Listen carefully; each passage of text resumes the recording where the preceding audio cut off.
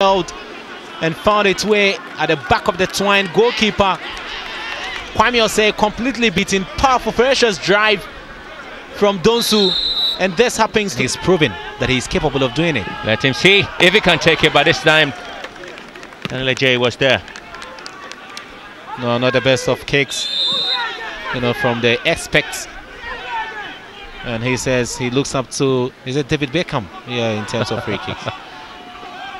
And it could still have Osei in there. Trying to have a foot to the ball though, but AJ was quick. And do that effectively. That's why Edward Nete is also playing as centre back for Inter Allies. Boateng's ball aside, oh. also missing it by inches. And uh, well, it was a great ball in, but Osai just couldn't read the pass quickly. He couldn't run very fast into you know, the six-yard box. He underrated it. Good play there from Frederick Boateng. He's not leading the attack, and that's how come I'm sometimes surprised that he's a club's top scorer he whipped in across. Good one there, inviting one. I think he should have thrown himself off to meet that ball. Diving header would have helped him. You a little bit lazy. Fakwa trying to get the ball moving into the half of Medeama. There's a foul here. There's Kwame Boateng again. He's the most fouled player in the Premier League. With a license to shoot. And he wants to do this one alone as well. Well, you would obviously be on the edge of your seat if you're a fan of Inter Allies. You know, this was a powerful one. Also, Kellen, you know, he's got a lot of power, you know, in his thigh. And he shot missing the goalpost by inches. What a ferocious drive there from Kwesi Donsu. Well, I was just thinking what will be going through the minds of the fans of It's it. on target. And Evans Mensah once again twisting and turning and it was Wudu Halik with a perfectly weighted you know cross inside the box it was fizzing you know but that was a disappointing header from Osai. well some stuff is there he hasn't you know, really Are you it? Shagging off the ball then. It's Sule! Oh, that was Sule Mohammed's effort. Well, that's the warning shot from this man that he can score. He has the spirit to do that for Inter Allies. You know, that was a way to announce his presence, and it was good pressure. And Sule stole the ball, and he fired.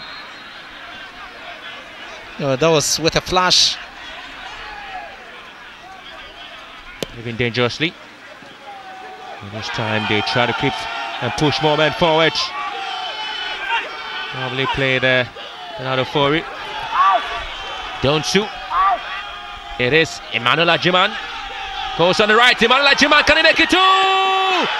Oh, that was close, but what an intelligent play from this young man. You know, he's turning out to be a super sub, and Muntari Tagoe, you know, can't believe it.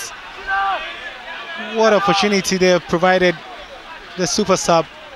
And Agyemang once again went past his man. And he did everything right but for the connection, ah, Jaglo was completely beaten. He didn't get a full blast of that ball inside the box. Which into the right places. And again, you can actually see there's a foul here. And that's a free kick. Someone's shouting for a goal here. A hot lifted up and he scores! That is sublime! It's 1-1. Game on. They needed it so hard and they have gotten it. It is always going to be this man. And Inter Allies can't afford to celebrate. You know, we talked about it at halftime. Remember the discussion we were having? You know, when Ahoto gets a free kick close to that spot, he always scores. He's done it twice against of And goalkeeper disappointed, Daniel Leje disappointed. But you can't fault him. It was well taken. And Ahoto Gokyo, his fourth free kick goal of the season. He's turning out oh to be an expert.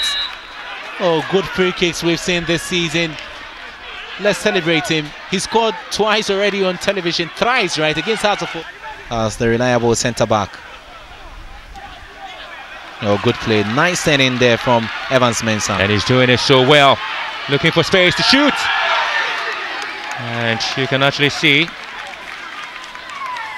how incredible his runs are. And Excellent piece of skills there, turning and twisting his men. Moses Sarpong was completely beaten there. He needed some space. He created it, you know, but his shot was feeble. Uh, couldn't cause problems at all for goalkeeper Daniel J. You know, good play there from Evans Mensah. He's done extremely well since coming on. You know, but he's not really been sharp. I would have loved him to contribute more. Well, that's uh, a huge opportunity. And that goes down as well. Free kick, penalty. Decision to be taken is a penalty to Medeama. It has been taken. And Medeama's Muntari Tagoe. And you can actually see the players disagreeing with the call there from the referee. And he was sacked from behind. And the players think that it was outside the penalty area. This was it. You know, long ball from Kwakwa. Bernardo Ofori went in. You know, and you know, was the foul outside the box or inside? It was Bernardo Ofori. I think it was outside the box. You know, it was outside the box. Very close outside the box. You know, harsh decision there for Interallies.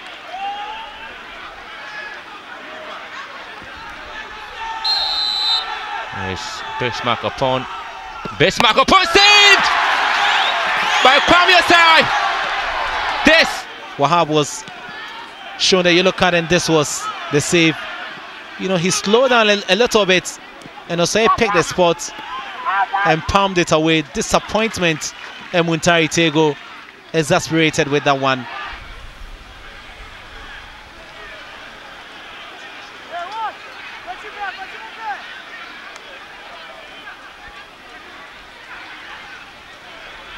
Uh, so, well, it has been a fantastic performance from both teams. Seven points for Interallies in four games, but two sensational free kicks. One from Kwesi Donsu from Medeama in the first half, and man of the match for today's game. He's really seen his team trying to pick up the three point, but what a save it was. A penalty kick there Michael Pont losing it out, and Kwame Osei will be excited to have helped his team not losing today's game. But for Medeama, they're yet to pick up a win in four games. And, well, preparing for the African competition. Inter Allies 1, Medeama 1. Full time score here at the Tema Stadium.